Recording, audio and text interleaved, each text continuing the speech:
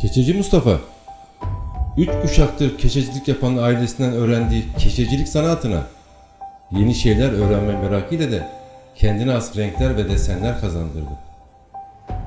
Bu renk ve desenleri şimdiki zanaatkarları öğretecek kadar da geniş gönüllüdür Mustafa amca.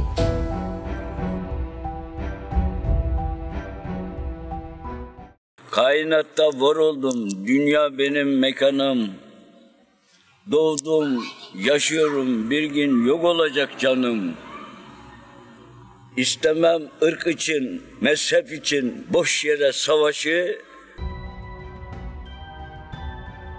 Mustafa amca her gün evinden çıkıp 85 yıllık bir tarihi omuzlarına taşıyarak geçer sokakları. O yürür, tarih yürür arkasından her gün atölyesine giden aynı yollarda. Hala meraklı, hala istekli ve hala ilk günlerin heyecanıyla.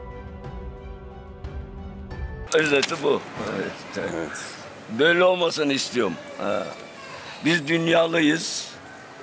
Ee, insanız diyeceğiz bundan sonra. Böyle olmayınca bu savaşlar, bu kavgalar bitmez.